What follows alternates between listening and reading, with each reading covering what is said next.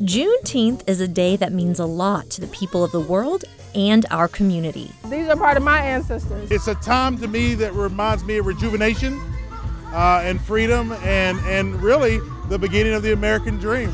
That's why it's important to commemorate the historic day which happened on June 19th in 1865. Started in Galveston, Texas with uh, the release of slaves two years after the Emancipation Proclamation. And it was a joyous time of celebration. And it was also the beginning of many new lives and many new entrepreneurships. The city of Irving continues to honor the now national holiday with their annual Juneteenth celebration held at Bear Creek Heritage Park. We have vendors out here. The Irving PD came out to support us, uh, NAACP. We got a kid zone for the kids, airbrush tattoos. Great food trucks and unbelievable music, as well as a car show.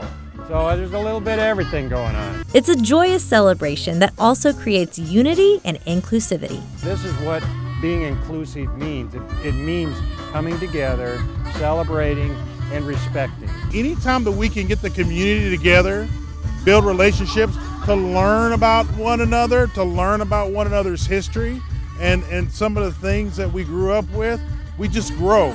And not even the heat could stop the community from that growth as they came out and celebrated this day of freedom. Even though it's hot, we're going to have a good time. For About Town, this is Susan Stephens.